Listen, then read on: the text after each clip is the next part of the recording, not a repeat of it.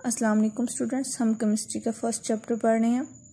कल हमने atomic number के बारे में पढ़ा कि किसी भी एलिमेंट के अंदर जितने नंबर ऑफ़ प्रोटॉन होते हैं, जितने प्रोटॉन पाए जाते हैं, वो उसका एटॉमिक नंबर होता है। आज हम मैथ नंबर के बारे में पढ़ेंगे। The mass number is the sum of number of proton and neutron present in the nucleus of an atom ठीक है, ये इटैलिक्स में इसकी डेफिनेशन लिखी हुई है। यानी किसी भी एलिमेंट, किसी भी एटम के अंदर जितने प्रोटॉन्स पाए जाते हैं प्लस जितने न्यूट्रॉन पाए जाते हैं, वो उसका मैस नंबर होगा। जो न्यूक्लियस होता है, उसके बारे में मैंने आपको बताया था कि उसके अंदर प्रोटॉन होते हैं और न्यूट्रॉन होते हैं इलेक्ट्रॉन आउटसाइड होते हैं। तो न्यूक्लियस के अंदर प्रोटॉन न्यूट्रॉन पाए जाते हैं। प्रोटॉन और न्यूट्रॉन का जो सम होगा, उसको प्लस करके जो अमाउंट आएगी, वो किसी एलिमेंट का मैस नंबर होगा। It is represented by symbol A, इसको हम ए से रिप्रेजेंट करते हैं। एटॉमिक नंबर को जी से और मैथ नंबर को ए से।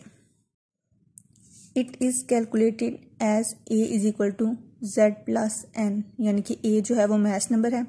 जेड एटॉमिक नंबर है प्लस एन यानी कि नंबर ऑफ़ न्यूट्रॉन यानी कि अगर हमने किसी का मैथ नंबर फाइंड करना हो तो हम उसके एटॉमिक नंबर के अंदर न्यूट्रॉन नंबर प्लस कर देंगे। एन लिखा हुआ N is number of neutron तो जो आंसर आएगा वो मैथ नंबर होगा। Each proton and neutron has one A M U mass कि हर प्रोटॉन को न्यूट्रॉन का मैस जो है इतना होता है। ए एम यू क्या होता है? वो हमारा नेक्स्ट टॉपिक है, ठीक है? उसमें पता चल जाएगा। ये मैस होता है, जितने हम कहते हैं ना, ये इतने किलो का है, ये इतने आधा किलो है, डेढ़ किलो है। ये उस तरह मैस होता है, क्योंकि एटम जो है वो बहुत छोटा होता है। तो इसलिए हम उसको किलो में नहीं माप सकते। तो उसके लिए हमने सबसे छोटी यूनिट बनाई हुई है, जिसे ए एम यू कहते हैं, ठीक है?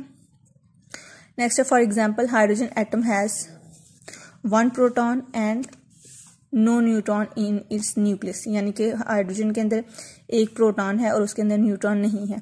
तो one plus zero is equal to one यानी कि उसका माइस नंबर कितना होगा? वन नेक्स्ट है लिखा हुआ। Carbon atom has six neutron and hence is mass number is twelve ठीक है? उसके अंदर प्रोटॉन हम निकल पड़े थे कि उसके अंदर सिक्स प्रोटॉन होते हैं, ठीक है? Six plus six is equal to twelve ठीक है? उसके अलावा उन्होंने बताया कि कुछ मैंने ये बुक में ना एलिमेंट्स हैं, ठीक है? तो इनमें से आप जो इम्पोर्टेंट आपको लगे हैं, पहले चार, ठीक है? Hydrogen carbon nitrogen and oxygen पहले चार आप लोग याद कर लेना, ठीक है? कॉपीज पे भी पहले ही लिख लेना और याद भी पहले ही कर लेना, ठीक है? डेफिनेशन लिख लेना कॉपी पे, ये यहाँ तक ए तक। उसके बाद कैलकुलेशन और उसके बाद एग्ज़ाम्पल यानी कि ऑलमोस्ट सारा ही हो गया। और पहले चार आप लोगों ने अपनी कॉपीज पे लिख लेना ठीक है? तो ये आपका मैथ नंबर था। ये आपने दोबारा से अच्छे से पढ़ लेना है। ये नंबर ऑफ़ प्रोटॉन है। किसी भी एलिमेंट के अंदर जितने प्रोटॉन होंगे, ठीक है? किसी भी एलिमेंट के अंदर जितने न्यूट्रॉन होंगे। फिर एटॉमिक नंबर उसका क्या बनेगा? उसका मैथ नंबर क्या बनेगा? ठीक है, इसलिए ये चार ही कहा है?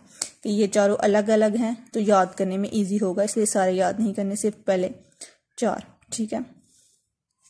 ये आपने पढ़ लेना है, अपनी कॉपीज पे भी लिख लेना है। कोई चीज़ समझ ना आई हो तो मुझसे पूछ लेना। मैं दोबारा समझा दूँगी। अल्लाह हाफिज़।